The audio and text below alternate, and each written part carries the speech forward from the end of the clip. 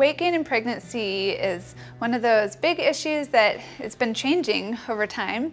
So now we know that people don't need to gain as much weight as we thought they did. I did gain a lot of weight with my uh, first pregnancy, 60 pounds with my first. So this time around, um, I am a lot more educated on that stu stuff, so I've been watching and eating healthy. The amount of weight you should gain during your pregnancy is not standard for everyone. It depends on the weight that you're starting at. If you're starting at a healthy weight at the beginning of your pregnancy, then your goal is to gain about 25 to 35 pounds throughout the pregnancy. Most people don't have a problem with this, and if anything, most people gain too much weight.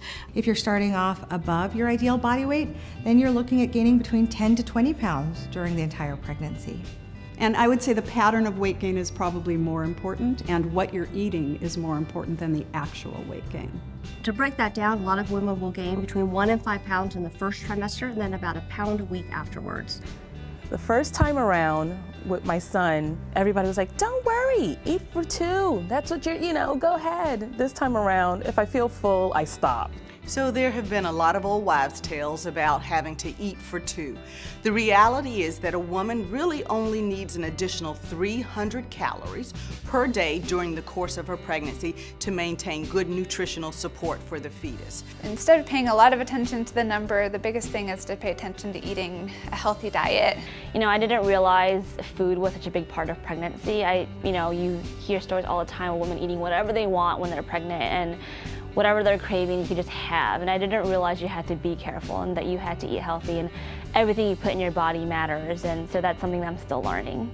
If you gain too much weight during the pregnancy, then you do put yourself and your pregnancy at risk. Um, you have increased risks of things like preterm labor, um, problems during the labor, increased risk of C-section, uh, increased risk of gestational diabetes, which can put your baby at risk after the baby's born as well.